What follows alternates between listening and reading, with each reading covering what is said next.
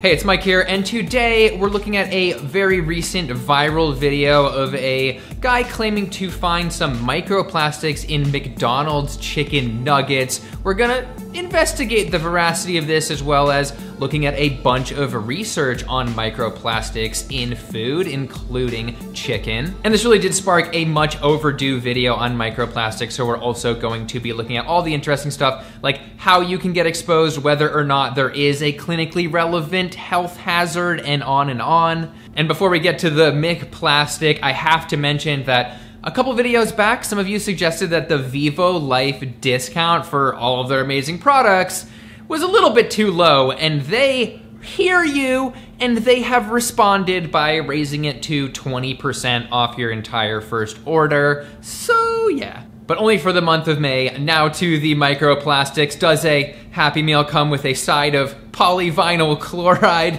You're loving it. Anyway, I first have to mention some context here. Like, what even are microplastics? And just really briefly, it's any plastic between 0.10 micrometers to 5 millimeters, which is almost a quarter of an inch. Like, this little plastic bead in between my fingers actually would qualify as microplastics, but that's about as big as they get. But it's becoming increasingly clear that they are pervading the human body, and so a very, very recent study out of the Netherlands looked at blood samples of just people from the general public, and they found that 17 out of 22 of the people's blood had microplastics in them.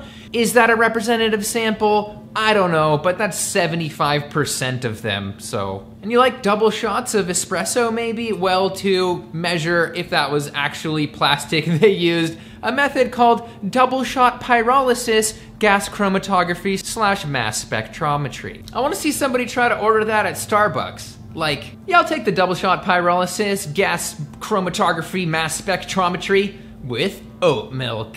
And as those researchers mentioned, and you may have heard before, we are also detecting microplastics in human placenta where you really don't want them. And we're talking about things like polystyrene, which is styrofoam. And I think it goes without saying that you want to lower your exposure, but we will talk about potential health implications, whether this is something to worry about, and the sources in a little bit. But I think you probably just want to get to the chicken nugget video. This is the viral video with 14 million views on TikTok on the TikTok account Micro Man. It's a microscopy channel that's generally looking at things like water bears and algae. And after hearing rumors of microplastics in chicken nuggets at McDonald's, he decided to go and check it out for himself. Here are some snippets of the video.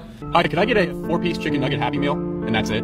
Are there really microplastics in McDonald's nuggets? Let's see if the rumors prove to be true. What's this?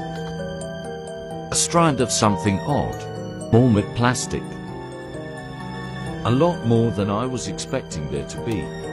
Doesn't seem like this should be in chicken, whatever it is. He also goes and checks out Wendy's chicken nuggets to see if it's the same and says that there are actually even more of these little blue fibers in there as well.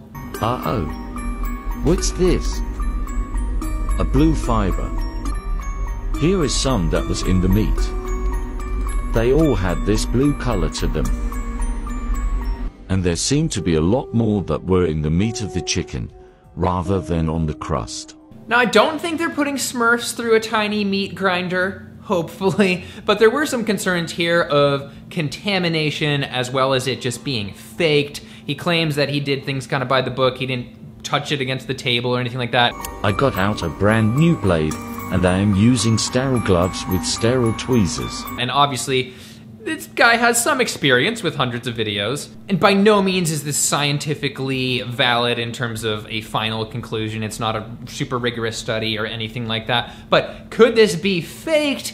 Well, the reason that I think it probably is not faked is because we have seen several sources now post essentially the same thing. And probably more convincing to me than those previous videos is somebody who's not anonymous, this guy named Justice Dodson, who is a UC Davis pharmacy tech, who also found these same, also blue synthetic microfibers, which he refers to as Mick microfibers. Now there's two more pieces of information that I think are also backing that these are microplastics here. One is just simply the way that they look. This is an aspen.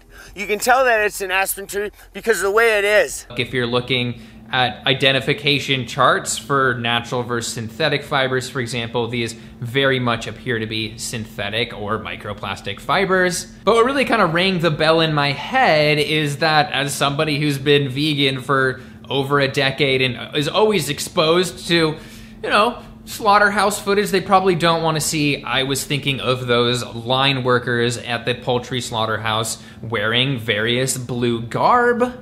In addition to just the use of blue equipment sort of ubiquitously for some reason in chicken slaughterhouse, I mean, even the conveyor belt in this picture is blue. I don't know why. Maybe it calms them down because it's a horrible job. And I won't be surprised if after these videos, all of a sudden things are changing to white or something that is not as visible, because there could be some perhaps white microplastics in these samples that we're just not seeing at all. Since we're talking about so much gross stuff here, I think we should take a break with some some more pure food that has high level of quality control. I mean, Vivo Life here, they test regularly for heavy metals, which is awesome. They have a ton of amazing products that are delicious, like the one I tried last time, and I wanted to highlight a completely different one this time, the vegan multi-nutrient, which I think is geniusly formulated because a lot of times they're just throwing a just way too much of certain nutrients in things, like too much zinc can make you sick. However, they put the perfect amount of stuff in here. They have the basics like vitamin D,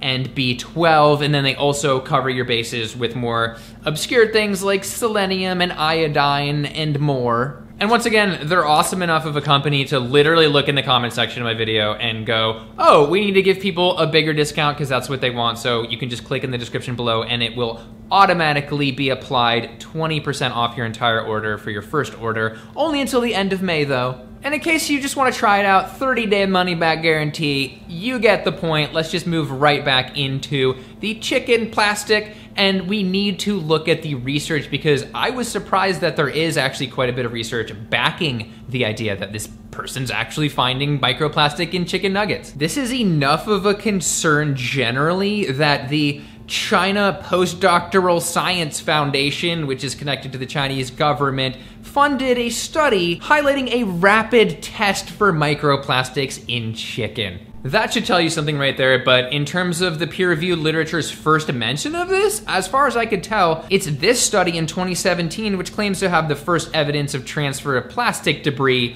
into chickens, and this is in the journal Nature, so very legit. The researchers absolutely found plastic, but fear not, only 16% of it was microplastics. The other 84% was slightly larger plastic which would definitely be ground down in the chicken nugget making process. anyway, they say though that they only found it in the gizzards and the feces of the chicken. Making you feel better, aren't I? And fun fact, quote, chicken gizzards are a popular food throughout the world. Are they in chicken nuggets though? It was hard to watch this video, but I watched it for you, and McDonald's claims that the body parts that they use do not include the gizzard, so that one could maybe be crossed off the list here. However, again, they found microplastics in the bird poop, and that brings me to PCRM, which highlights something you might already know. Bird poop often makes its way into chicken food products, as in what people eat. The USDA also agreed that the presence of E. coli and other enteric or intestinal bacteria on meat or poultry products indicates that the bacteria is likely associated with the intestinal tract. But they say fecal contamination is really just a visible defect. You know, the little chunk of poop might just turn you off a little bit visually. Anyway, the Physicians Committee for Responsible Medicine did their own poo poo poultry test back in 2011 and found that about half of them had that fecal bacteria in them. Fun with feces, but I got curious and was thinking, is it possible that these microplastics could make it into the muscle itself? And it is the case that it has been detected in animal muscle, in particular fish and shellfish muscle from this study. This poor little fish guy, this species, had about 20 pieces of microplastics in their muscle on average. So, so yes, they are definitely finding plastic in Nemo, which is the official next sequel to Finding Nemo. And that brings me to what are the sources in general of microplastics that we're exposed to beyond chicken? Because generally people are talking about marine life being exposed to it. We've heard of the Pacific garbage patch or the Pacific gyre not the type of gyration we like. And that is emphasized by how sea salt has the highest level of microplastics in it than any of the other typical rock salts or anything like that. So that's one way it can get into food. And I just found this super recent study that came out that found that the plastic rope scraping on the ocean floor from fishing vessels creates approximately 300 tons of microplastic globally every year. So we have that horrible effect in addition to just the larger nets tangling up sea turtles, etc. And then we also just to this chart can see a variety of exposure pathways from just inhaling dust that has microfibers in it, as well as, of course, food, and you can pause to read more of that. And if you want to lower your personal microplastics emissions, you can get one of those little laundry microplastics bag that prevents the fibers from going down the drain and out into wildlife areas. And I should probably do a whole nother video on more information like that, but we have to ask the big question, does any of this even really matter? Does a little bit of microplastics have any possibility of doing anything bad to you? Well, let's get into the research.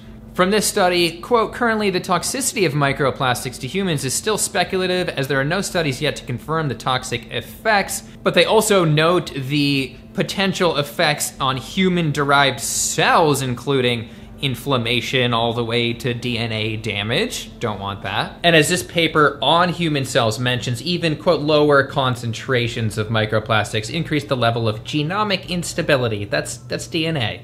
And as this paper mentions, microplastics may be involved in the disruption of immune function and neurotoxicity. So this is all fun stuff, but we don't have super solid data because this is all pretty new. I mean, we weren't even talking about microplastics 10 or 15 years ago. Another thing that microplastics do that is sketchy is that they can be, quote, vectors or transfer agents for things like pharmaceuticals, also PCBs, which are persistent organic pollutants that you don't want in your body. They can endocrine disrupt, cause cancer, etc. The problem is we don't have a percentage pie chart breakdown of where all of the different microplastics are coming from. So I couldn't say that chicken nuggets are a major source or they're probably not a meaningful source at all. But I think it's fair to say that staying away from processed foods is going to lower your chance of getting exposed through food. But we need more studies on this. We need more data. All that being said, chicken nuggets are just gross. Not only are they just like a little chunk of ground up animal flesh, they also have you know things like cholesterol. They have hydrogenated oil, which is like a heart bomb, a ton of preservatives, etc. And of course, they are super duper unhealthy for the poor little chicken that had to get killed to make the nugget. You get the point. However, finally, if we were to really verify that there are microplastics, we would have to do a study and I would design it by, you know, getting a bunch of different samples of nuggets from around the US, for example, then doing a sort of density count of how many of these fibers are there for like cubic centimeter and then doing one of those actual like double shot pyrolysis measurements of whether or not they actually are plastic. However there's a very good indication that they are just based off how they look their morphology the fact that peer-reviewed studies show finding microplastics in chicken, the fact that they're all blue strands. You can see all of these line workers wearing blue garb and this blue equipment, it's all blue. Anyway, I hope you learned as much as I did by looking into this topic. And